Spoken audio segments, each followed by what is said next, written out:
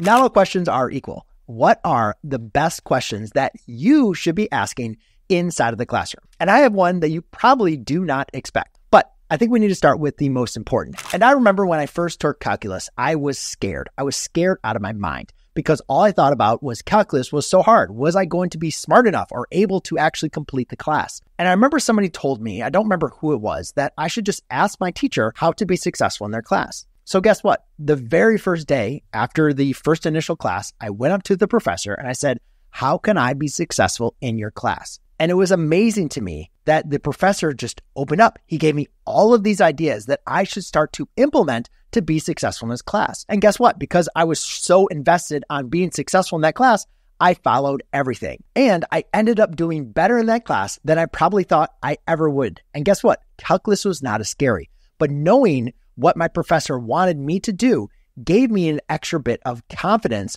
that I could be successful and the pathway that I needed to follow. And that's something that I advise all of my students to go and do when they are first starting out with any course because you're not used to your teacher. You're not used to how they are going to operate or how the class is going to be, how the class schedule is going to follow. This shows your teacher that your willingness to be vulnerable, to ask for help, and that you want to be successful. And guess what? Your teacher is there to support you. That is what they want more than anything else is to see you being successful. So if you want to get your teacher on your side and also see success in the classroom, start with asking your teacher, how can I be successful in your class? But in reality, I still didn't get an A in that class. I still struggled. I was still one of those students that just sat in the back of the classroom. And if I didn't understand something, I just, you know, kind of kept quiet. I'd never really wanted to raise my hand and kind of feel stupid in front of other students. However, on the flip side, as a teacher, one of the more annoying things, I guess sometimes we could say, and you might see in my older videos of a student like raising a question or asking, you're like, wow, Mr. McLogan, you're so mean because, you know, I would maybe snap back at the student because they interrupted my class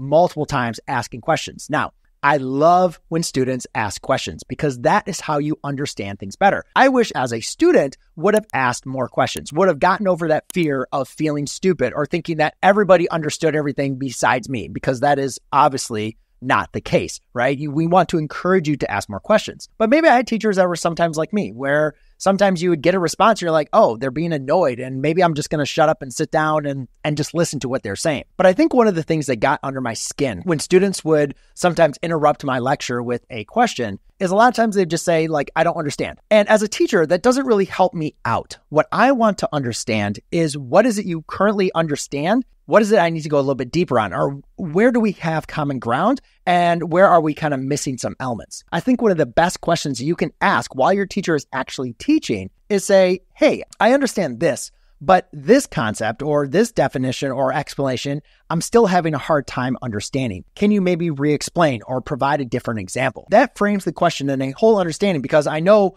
what they understand and I know what they don't understand. So what I need to do as a educator is give that bridge. I need to have a bridge for that gap of understanding. Maybe that might be another example. Maybe that might be providing them a different analogy or slowing things down. So I think it's really helpful to give your teacher some context when you're just asking questions rather than just interrupting and saying, I don't understand or what's that, you know, and just interrupting their flow, but also giving them some context so they know what is working and what is not working. So therefore they can readjust. Now, not always are they going to readjust. And sometimes you might have somebody that doesn't like answering questions during the lecture at all. I get it. I always try to be very, very open with my students when I was teaching. But there's one thing that I would probably say has probably made a difference more in my student grades than anything else. Now, again, this wasn't something that I did, but it was something I encourage my students to do because what I recognize as a teacher is that grades are not perfect. I always try to make my grades reflect my students' understanding. However, I don't think there is a perfect grading system. And every single time that I gave back students their tests, I said, if you have any questions or you want to go over your quiz or your test, please come and see me and let's go over it.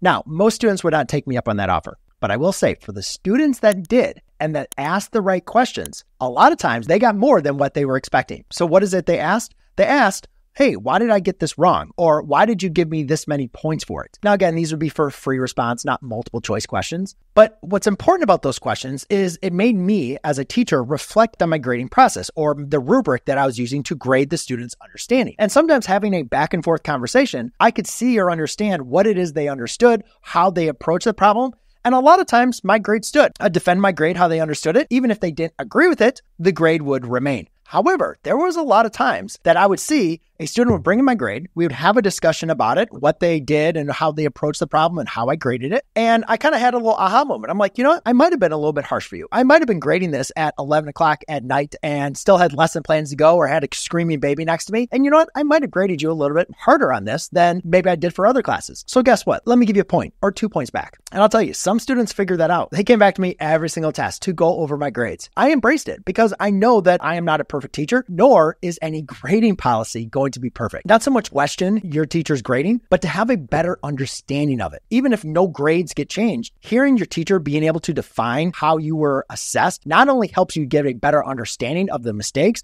but also helps you better prepare for upcoming assessments. Because in the end, we want to keep on improving, right? But sometimes, even when we're making improvements, we're still not getting the grade that we want. Now, I did not lead with this one because if you lead with this question, it's probably my most hated question I get. Students would always come and ask, How do I get an A? How do I get a B in my class? And if you lead off with that question, immediately what I think about is you just care about the grade. You don't actually care about doing any learning. That's why I said how to be successful as that first question, right? Because if you're just focused on the grade, then all I'm thinking of is you just want to do shortcuts to be able to get best grade possible. You're not willing to put in the work. However, after we've gone through assessments, after you've already maybe came in and trying to get help for your tests and your quizzes, and you're still not getting the grade that you want. Maybe you're making some improvements, but maybe you're like at an 88% or at a 65%, but you want to get to that next level. Ask your teacher, how can I get an A? A B, a C, whatever it is, that next level up for you. I think this is important because what it shows to your teacher is once they've already seen that you're putting in the work, you're putting in the effort to get better, they want to join your team. It's not about you versus them. They want to see you be successful. So just like at the beginning of the year when you want to be successful, they'll give you some tips. Now,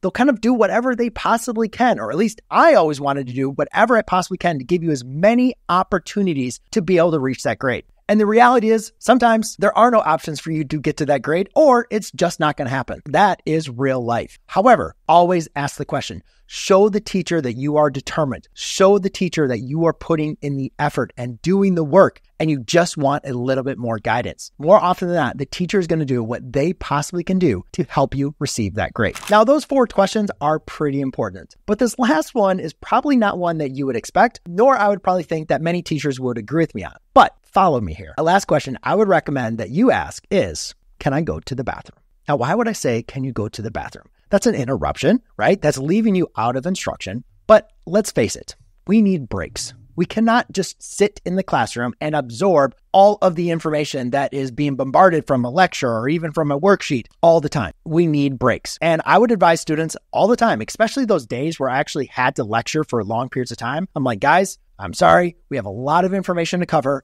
This is going to be a lot of me talking. You're going to want to get all this information. However, if you need to take a break or go to the bathroom, get a drink of water, please go and do it.